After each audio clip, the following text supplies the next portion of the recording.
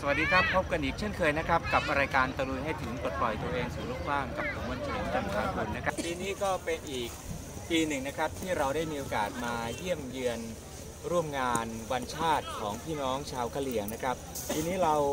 มากันที่กองพลน้อยที่ 7 นะครับ เพื่อมาร่วมงานวันชาติครบรอบ 70 ปี ของกะเหรี่ยงเกณฑ์อยู่นะครับ ก็มากับพี่มานพอีกเช่นเคยนะครับสวัสดีครับพี่บอกสวัสดีครับครับทีนี้จะพามาดูบรรยากาศอะไรอย่างไรบ้างอ่าปีโตปีนี้เป็นโตกว่ายาปีที่ 70รายการที่สองราชนะครับก็จะใหญ่ในรอบ 70 ปี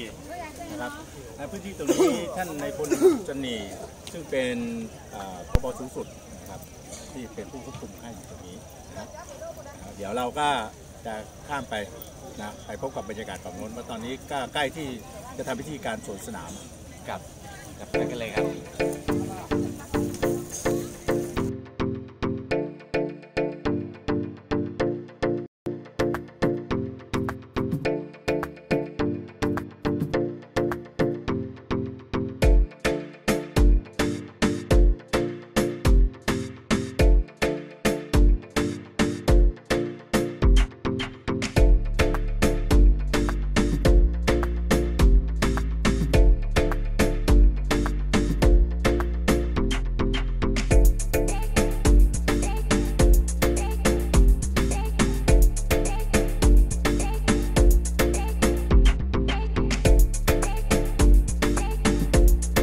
การจัดงานครบรอบ 70 ปีของการปฏิวัติชาติพันธุ์กะเหรี่ยง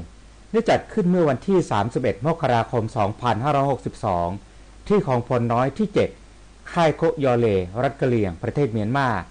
โดยมีพลเอกมูตูเซโพ ประธานาธิบดีสหภาพแห่งชาติกะเหรี่ยง เป็นประธานในพิธีเปิดงาน พร้อมด้วยพลเอกจอห์นนี่ ผู้บัญชาการฐานสูงสุดกะเหรี่ยง KNLA นายทหารระดับสูงและกะเหรี่ยงกลุ่มต่างๆ ทั้ง 4 กลุ่มเข้าร่วม ท่ามกลางชาวกะเหรี่ยงทั้งฝั่งเมียนมาและฝั่งไทย เข้าร่วมอย่างคับคั่งพร้อมผู้แทนจากกองกำลังชาติพันธุ์อื่นๆ เช่น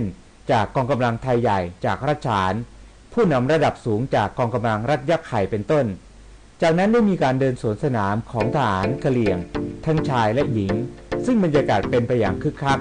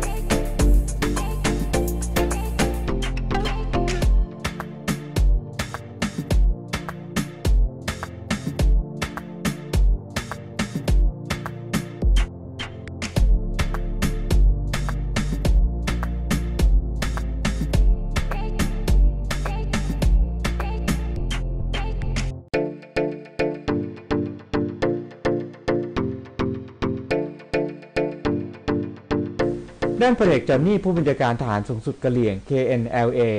กล่าวถึงกรณีการสร้างความปรองดองในเมียนมาไม่มีความคืบหน้าเท่าที่ควรว่ากะเหรี่ยงยังยืนยันที่จะเจรจาบนโต๊ะเป็นหลัก เพื่อเดินหน้าไปสู่สันติภาพ ส่วนเรื่องการปกครองของรัฐกะเหรี่ยงยืนยันว่า ต้องการให้รัฐกะเหรี่ยง มีอิสระในการปกครองตนเอง ตามจุดยืนที่มีมาโดยตลอด กรณีทางกองทัพเมียนมาได้เร่งพัฒนากองทัพอย่างมาก ทางกองทัพกะเหรี่ยงมีความกังวลหรือไม่นั้นพลเอกจอนนี่บอกว่าไม่มีปัญหา พร้อมยอมรับว่า ตอนนี้แม้จะมีการทำสัญญาสงบศึกกัน แต่การปะทะเล็กๆ น้อยๆ ยังคงมีอยู่ แต่ใหญ่ ๆ ไม่มี ส่วนแนวคิดการแก้ไขรัฐธรรมนูญของเมียนมาเพื่อให้สัดส่วนของทหารในสภาเมียนมาน้อยลงพลเอกจอนนี่ยืนยันว่า ต้องการให้มีการปรับเปลี่ยนในเรื่องนี้ แต่ถ้าไม่ยอมมีการปรับเปลี่ยนก็เป็นเรื่องของเขา ส่วนความคาดหวังต่อการปรองดองในเมียนมาควรจะเสร็จสิ้นเมื่อใดนั้นพลเอกจอห์นนี่บอกว่า เมื่อไรไม่รู้เหมือนกัน แล้วแต่เมียนมา